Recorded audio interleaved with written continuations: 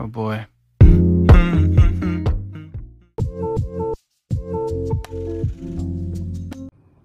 Hello，大家好，我是完美猫。今天给大家带来的是这双 Sky 腾越号以及耐克三方联名的这样一双真假对比。呃，在视频开始之前呢，我先简单回答一下上期视频朋友提出的疑惑，就有朋友在我视频下方留言。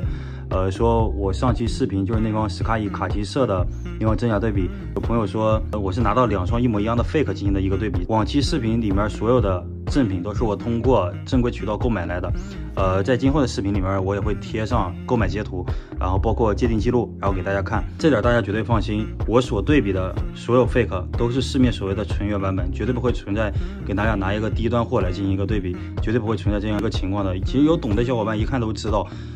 这。真正的低端货，它是做不到那个品质的。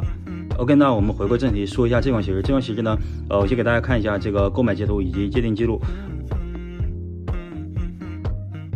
呃，这个是我在某宝买来的。呃，另外三个版本呢，也是市面上的纯原版本。这个是我通朋友通过朋友买来的这样一个渠道货，然后是版本一。然后这个呢是版本二，版本二的话是市面上以 M 开头的这样一个版本。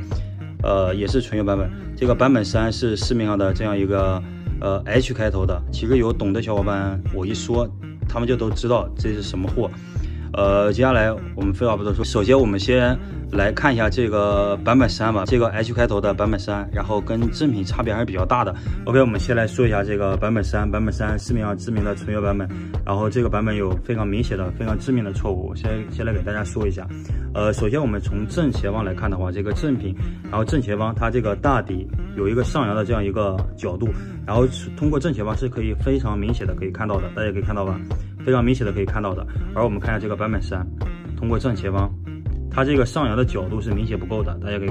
很明显的看到，对吧？OK，那这是第一点。第二点的话，就是在侧面，侧面也有非常明显的问题。呃，我们看一下，呃，侧面的话，这个白色皮质的双钩子，正品的颜色明显偏白，更加亮一些。而我们看一下这个版本三，这个版本三的颜色要发黄一些，跟正品比起来的话，大家可以看到吧？OK，那这是第二点，非常明显的差别。第三点的话就是这个，呃，这个中底白色泡棉大底的部分，呃，有一个 Sky 的这样一个标注，它这个字体是要比正品偏细一些的，大家可以很明显的看到。呃，那这是第三点。第四点，我们来看一下这个内侧，这双鞋子的话是一个深蓝配色，同期的话还发售有一双灰色。呃，这双鞋子在内侧同样有这样一个英文的标注，腾越号的这样一个英文标注，包括在很多腾越号联名款的鞋子上面都有用到这样一个设计。呃，我们要说的话是这双深蓝色有一个三位数字的颜色标号，就是八二七，代表了这双深蓝色的这样一个颜色。而我们看到这双版本三。它采用的是二三三的这样一个数字标注，只有灰色才会用到二三三的这样一个数字三位数字标注，而深蓝色都采用的是八二七。我们可以看一下这个版本一的，对吧？这个版本二的都是八二七，而这个版本三出现了四点非常致命的错误，大家可以注意一下。那我们把这款版本三拿开，OK，接下来摆在眼前的版本一和版本二的话，相比较版本三来说，还原度高了许多。呃，接下来我们来细细的看一下。呃，首先我们先来从鞋跟皮料来看，鞋跟皮料的话，这个正品采用的是这样一个反用皮，然后大家可以看到吧，这个这样反用皮的这样一个材质，呃，两双鞋子的这个材质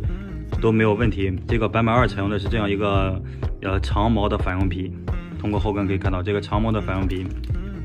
而这双正品。它在这个鸡皮的采用上面是有长绒皮和短绒皮两种情况存在的，大家注意一下。接下来我们看一下这个呃鞋舌双鞋舌部分，双鞋舌部分上期视频在斯卡伊卡其色上面我们就跟大家讲到，一双斯卡伊三点零卡其色，它这个橙色钩子是有压住字母 E 的，而这双鞋子是恰恰相反的，是字母 E 压住了橙色的钩子，大家可以看到吧？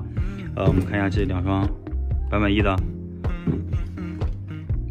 版本二的这个都没有明显的问题。OK，接下来我们看一下侧面。侧面的话，我们首先来看一下这个中底泡棉部分的这样一个字母标注。字母标注的整个粗细程度，大家可以看一下吧。正品和版本一，这个粗细程度是完全一样的。包括版本二，两双 fake 在这这一块的字母粗细程度跟正品是完全一致的。接下来我们看一下这个 swatch 钩子，swatch 钩子颜色没有明显的偏差，但这里值得一提的是，这个版本二大家可以看到，这个版本二的这个双钩子它这个整个钩子的轮廓，同样码数，整个钩子的轮廓是要比正品和版本一大上一圈的。通过视频我们可以很明显的看到，对吧？那这是从侧面，呃，接下来我们看一下后跟部分。OK，接下来我们看一下后跟部分。后跟部分我们首先看一下这个正品的后跟，这个后跟非常的饱满立体，然后白色皮料上面的字体清晰有型，这个是正品的。呃，我们再来看一下这个版本一的，这个版本一的这个后跟形状跟正品如出一辙。我们再来看这个版本二的，这个版本二的是之前我有说到的这样一个问题，它采用的是这样一个长绒皮，呃，这个长绒皮在正品上面也会有存在的，因为正品有短绒的，有长绒的，这个不是绝对的，我们要看的还是后跟的这个形状，这个形状也没有任何问题。OK，那这是从后跟方面，接下来我们看一下中底，接下来我们看一下这个中底，正品的这个中底采同样采用了这样一个硬纸板的这样一个设计，跟之前的斯卡伊一点零是没有区别的。然后中底会有这样一个钢印，钢印的这个数字代表的是月份、日期、年份，包括后面的这样一个产品批次。啊，我们看到零二就是二月二十二号，呃，二一年幺八的话就是批次的意思。值得一提的是，相比较之前 Sky 一点零来说，区别在于什么地方呢？它这个呃腾讯号联名的这个中底有了一个注胶孔，大家可以看到吧？这个钢印旁边有了一个注胶孔，之前以往的 Sky 一点零是没有注胶孔的，这个是区别。OK，接下来我们看一下这个版本一的，这个版本一的这个同样有这样一个注胶孔，然后零二零九二幺幺 N 就是二月九号二一年，一 N 就是批次的这样一个意思。好，我们再来看一下这个版本二，这个版本二同样有这样一个 P 呃标注。包括注注胶孔、钢印都有的，呃，为什么这么说呢？我们可以看一下这个版本三，这个版本三这个中底部分做的也是非常的差强人意。这个版本三的这个中底，大家可以看一下，钢印是有的，但是它没有注胶孔，这个是刚之前斯卡伊一点零的那个普通配色是一样的，它是没有注胶孔的，而这个腾越号是有加上注胶孔的。OK，那综合以上视频的话，版本一和版本二，我个人认为跟正品的还原度还是比较高的。呃，这个版本二整个鞋型细节做的都是很不错的，但是唯一一点不足的就是它这个相同码数下，它这个钩子史沃曲钩子的皮料尺寸要比正品大上一圈。除此之外，没有什么很明显的区别。呃，另外就是这个版本一，这个版本一的整个鞋型细节、用料、裁片的这个大小、尺寸方面，跟正品还原度是极高的。那以上的话就是这三双市售纯原版本跟正品之间的这样一个区别，有还原度比较高的，也有还原度比较低的，然后包括有一些椰甲的细节。有喜欢这双鞋子或者买到这双鞋子的小伙伴呢，也可以通过以上我强调的这几个点进行一个简单的辨别。除此之外呢，需有一个需要吐槽的点，就是这双正品，这双正品现在的做工真的是差强人意。大家可以看一下这个正品，这个中底的字母，这个 R 和 C 之间，包括最后这个字母 I，它这个字母出现了非常严重的错位的这样一个现象，有很明显的这样一个瑕疵。而市售的这个纯原版本，这个做工要比正品好上很多，甚至超越了正品这样的一个做工。